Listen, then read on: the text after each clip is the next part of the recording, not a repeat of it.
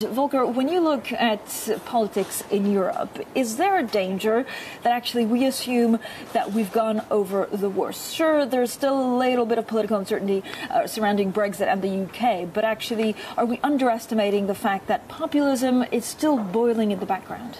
Well, I think it's a mixed bag. I mean, it's very positive that we're moving in France towards a reform stance. Uh, that's really key that France reforms its economy, and that's a chance for growing out of the crisis we had. Uh, it's good that in the UK, you know, things are mellowing a bit, that we have a chance for a, a, a situation, a development which is both for good and the UK, good for the UK and the euro area. And we have trouble spots, Italy especially. I think Italy is still a real danger spot for the euro. How, how, should that impact monetary policy? At what point do we need to actually start thinking about getting out of QE? Otherwise, the unintended consequences are worse than, than what happens if you stick with them.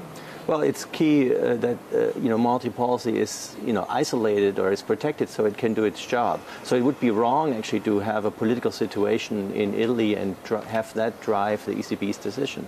Uh, and for that situation, it's pretty simple. If a country with, which has high debt would get into trouble, then you know we have a support mechanism. We have the ESM that can always apply for an ESM program and then convince markets that they mean that they mean business with reforms. So it, it's absolutely crucial. Convince markets. Do you think mm-hmm. markets are likely to freak out when we start talking about tapering? They they haven't done so in the Fed, but again, it seems that everything is over communicated. Well, that's I think one has to have a strategy, and I think the first thing would be, and the ECB should have done this for a while, to talk about how to exit and how the timing could come about.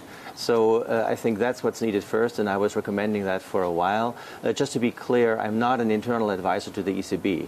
I was a research consultant way back, but I'm speaking for myself, but also yep. for our council uh, of German experts. Um, Peter, give me a sense of how you look at uh, currency swings. So we did have a little bit of an appreciation of euro, especially on a trade-weighted basis compared to the dollar. Is this a concern for European countries? Up, we start to see growth and inflation, you know, decline. Um, I think the ECB, though, will be reasonably happy with, with you know, they won't be uncontent with uh, with the euro's appreciation, provided growth and inflation remain, you know, reason, reasonably uh, well supported.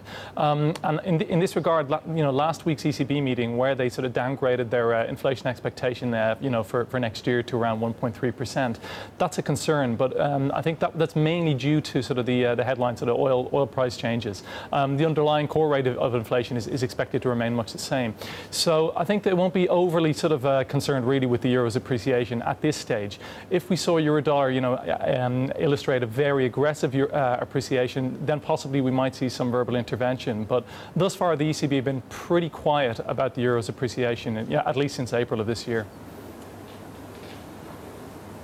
Uh, Volker Peter was saying there that look they're not worried too much about euro appreciation because it's also uh, kept under control at the moment. How should they view this inflation, which is going nowhere? Is, is it structural, or is it the way we also measure inflation?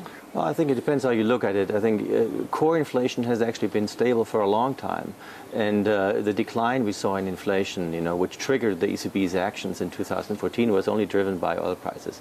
So I think uh, inflation has been very benign. Mm-hmm. And one uh, factor one has to take into account is we have immigration into the hotspots, the growth spots mm-hmm. of the euro area from outside the euro area, from Eastern Europe, from the EU, and that basically, you know, keeps a lid on wage developments in countries such as Germany, where you have massive growth and where we're actually growing above potential.